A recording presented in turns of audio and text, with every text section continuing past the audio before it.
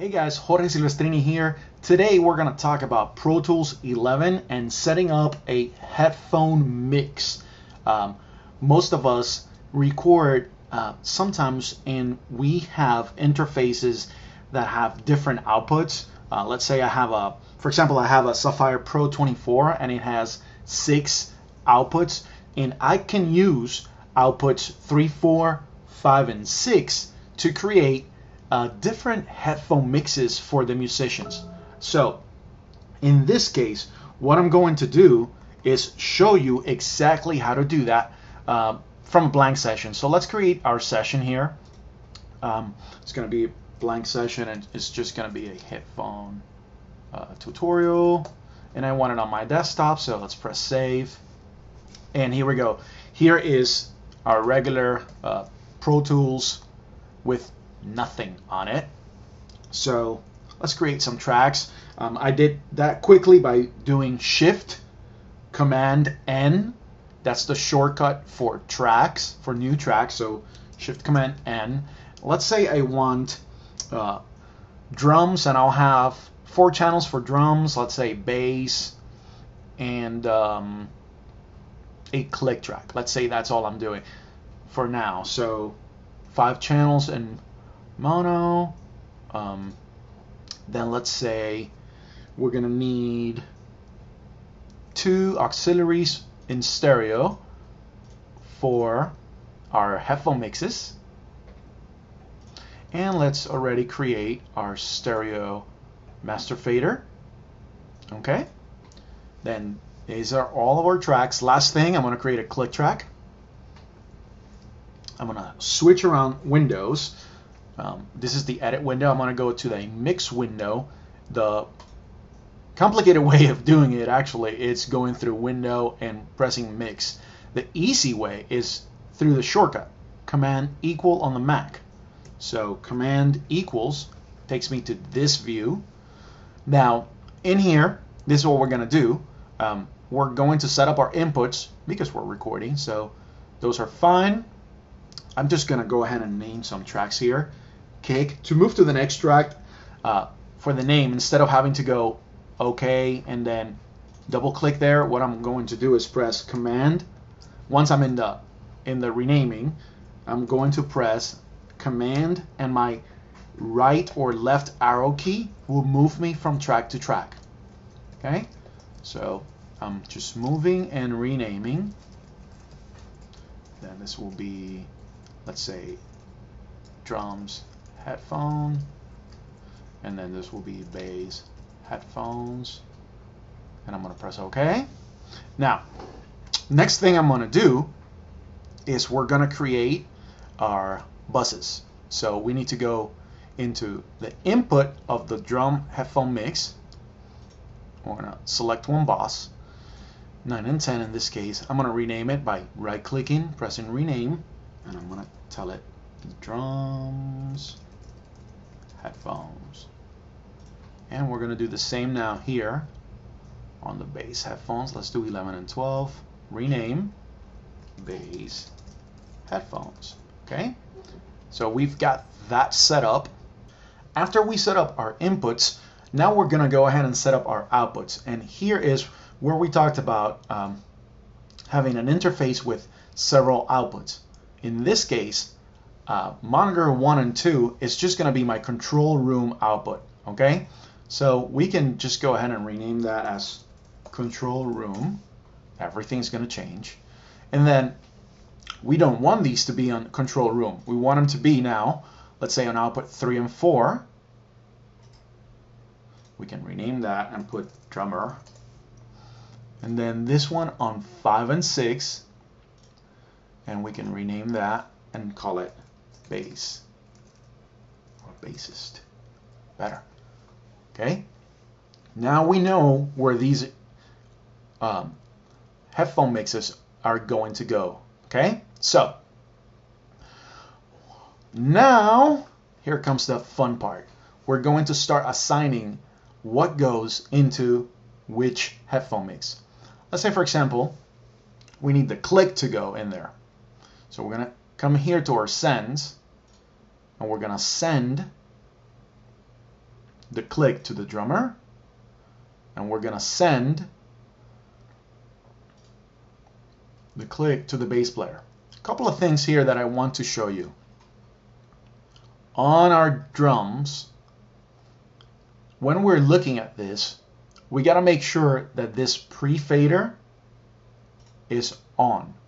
If you don't know what pre and post fader uh, will, will do, it's very simple, and I'm going to show you it right away. If we have it off, when we're playing the track, and let me start sending some signal over there, you see that we're sending signal. Signal's coming in through the click, sending it through the drum, sending it to the drum's uh, output. Now, look what happens. As I turn this down, because I do not want it in the control room, even though the signal's still there, nothing is going through on our bus. The reason why is because the pre-fader is off, meaning we are cutting the signal with this fader. In order for this not to happen, pre-fader needs to be on and the signal will go here first. See? Now signal's going, pre-fader's on, signal is going here, but I'm not listening to it on the control room, but the guys in the headphones, they are listening to it, okay? So let's make sure we have the same thing set up for the bass. And now they're both receiving the signal, okay? Um, next thing that we're going to do is, in this case, everyone actually wants to hear the drums. So I'm going to go send it to the drums and by pressing option and click dragging we can just copy that over every track okay? Now the only problem is we copied the wrong thing. So now let's just make the right adjustment. Let's put it at zero. Let's copy it again